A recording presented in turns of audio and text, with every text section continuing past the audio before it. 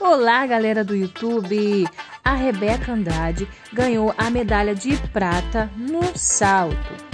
Ela fez do primeiro salto o Cheng. O Cheng ela fez com 9.5 de execução. A dificuldade é de 5.6. A sua nota foi de 15,100. Ela cravou o Cheng. Como sempre faz um excelente Cheng.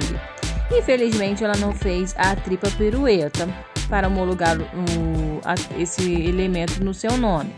O segundo salto, ela fez o Amanar. O Amanar é, tem como dificuldade de 5.4 e a sua nota foi de 14.833.